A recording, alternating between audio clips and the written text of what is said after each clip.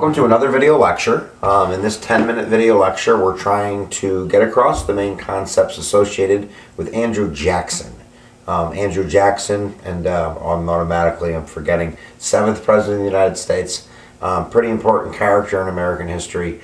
And uh, again, we're going to paint some big, broad strokes. So don't write research papers with this, but maybe just to dip your hand into the uh, water of history, uh, this might be a good start.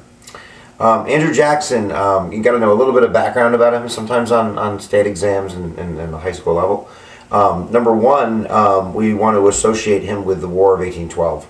Um, but you know, prior to that, his uh, he was a land specta- uh, a spectator. Um, he would purchase land, and basically he had a lot of interactions, a lot of negative interactions with treaties with Native Americans, and maybe uh, kind of getting sweet deals on land deals in Tennessee. Um, he also had in his life up to, up to 300 slaves throughout his life. Uh, he was a slave owner. Uh, but nevertheless, he went into the military service um, uh, for the War of 1812. And uh, he basically uh, fought in the War of 1812 after it was over, but we don't have to talk about that, um, in the Battle of New Orleans. And that battle um, is really insignificant other than giving Andrew Jackson kind of the starring, you know, I mean, this kind of star figure in American history. And he used that to propel himself into uh, the political world. Um, he also um, is basically the uh, taker of Florida. Um, basically, the Seminole tribes were in Florida, and actually, a lot of slaves would, would, would escape to Florida and um, sometimes intermarry with the Seminoles. And the Spanish were kind of there, but they kind of weren't there. Nobody was watching. And uh, under the context of kind of protecting slavery and catching slaves that escaped, Andrew Jackson got into Florida. Um, the next thing you know, bada boom, bada bing, uh, we get Florida. Um, you know, by conquest, by manifest destiny. And there's the word, right? You've heard that word in your course. You want manifest destiny? Be Andrew Jackson. Go kick some Seminole ass in Florida. Take it.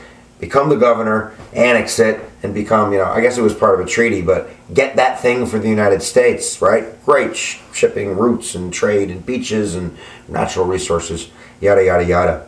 Um, that launches us into 1824. And again, I'm skipping big things here, but we, are just doing these strokes, right? Stroke, strokes, of big history. So um, in 1824, Andrew Jackson ran for president. He was kind of a dark horse candidate, a candidate nobody thought would do good at all. And he actually did really good in the popular vote. Um, but unfortunately, it's not the popular vote that determines the outcome in the Electoral College. You guys know this from the lecture that I taught you, um, or you learn in class. But nevertheless, Andrew Jackson um, had three other competitors, one of them being uh, John Adams, John Quincy Adams. And uh, the race ended up getting thrown in the House of Representatives. And there's a constitutional lesson. Um, if you don't get 271 electoral votes, back then I don't know what the number was, but if you don't get half plus one, then it goes to the House of Representatives. The House picks the leader, the next president. And for the most time, most times in American history, we have two parties. You know, we started with Feds and Democratic Republicans, and since, uh, you know, uh, 1860, it's pretty much been Republicans and Democrats.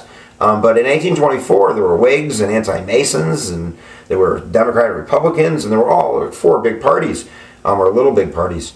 And um, Andrew Jackson didn't get picked. It actually came down, I think, Kentucky. Henry Clay was a senator. And even though Kentucky voted for Andrew Jackson, they gave their votes to John Quincy Adams. And then bada boom, bada bing, John Quincy Adams picks, you know, uh, this Henry Clay character to be the Secretary of State. I wonder if there's a connection. All right, let's go over major vocabulary because Andrew Jackson's going to come back in 1828. He's going to win the presidency. He's also going to win in 1832. So we got a two-termer here. Pretty big deal.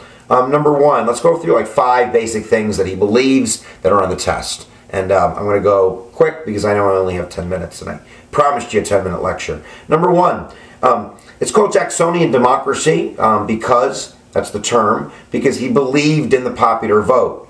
For white men, at least white men who didn't own property too. That's the expansion, going from white men who own property to white men who are white men right? Native Americans, no. African Americans, no. Women, no. Um, not good. That's Jacksonian democracy. I don't even know what the analogy is. it's like really good soup, and they bring out tomato soup. It's soup. It ain't really good soup, and we're going to get there, folks. All right, we do electoral college. He was against it. He wanted an amendment against it. He, he talked about it all the time. He never got it. Number two, the spoil system. it's going to be on the test. Spoils system. The spoils system is basically not made up by Jackson, but basically what it means is to the winner goes to the spoils. If you win, you get to reap the benefits of winning, especially the presidency. And basically, you know, there's two ways of looking at this. The positive way is that by allowing the president to basically have a high turnover rate with federal officials, to come in and wipe the board clean and start to hire new people. You get fresh blood. You get new ideas. You don't get bureaucrats for life. There's less special interest. There's less chances they're going to steal or be greedy and they're going to do the right thing. Um, so, you know, and in the idea of Jacksonian democracy, that's one concept, right? Is that the spoils system allows for, you know, more people being involved in politics, right? It's like term limits almost. The negative part is who they going to hire. They're going to hire their friends. They're going to hire relatives. They're going to hire people maybe that aren't qualified. So the spoils system is going to last all the way up to like 1888, and we get to know our Pendleton Act, and now today it's not who you know. Yes, it is.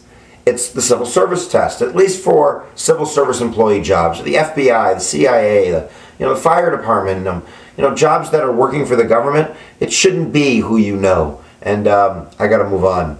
All right, let's talk about the time. You have to know that he was against the National Bank. The National Bank, to him, Alexander Hamilton, Schwarzenegger baby, represented the um, Eastern interest. It represented, uh, you know, big money, big business, and uh, not Western farmers. He was a Western frontiersman. So he vetoed the National Bank. Uh, we won't tell you what happened when he took all the money out and he gave it to the local banks. And uh, we really had no gold to back it up. But nevertheless, he was against the National Bank. He vetoed the National Bank. He supported tariffs. And that's kind of a weird position for a Southerner because Southerners are against tariffs because remember, tax on French underwear?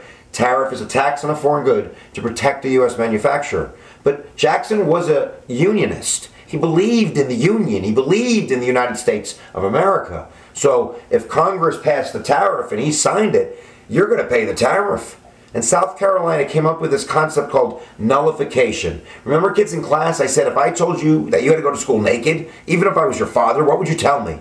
You said bad things. You wouldn't do it, right? You nullified that rule. You said, I have a liberty, that it's more important that I have my liberty that I follow your rule. And that's what South Carolina said. This is the beginning of the Civil War in 1828, guys, right? So what is Andrew Jackson going to do? He's going to almost use force to enforce the Tariff Acts. That ends up being a compromise, but that's not the concept. The concept is that, you know, nullification comes up. And Jackson said, You can't leave the Union. You can't leave the marriage of the Catholic Church. You're married forever.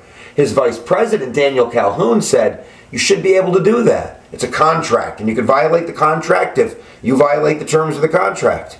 So, nevertheless, he um, supported tariffs. He was against nullification. And the last thing is the Indian Removal Act. Um, in 1832, the Supreme Court actually sided with Native Americans in a court case called Worcester versus Georgia.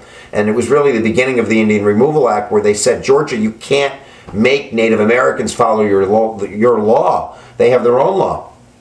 And Jackson basically said, I don't want to, I can't do this in front of the camera on YouTube, but he put a bad finger up and he said, let me fix my glasses. I'm not going to, you know, enforce your decision. Go ahead, you enforce your decision. He enforced the Indian Removal Act.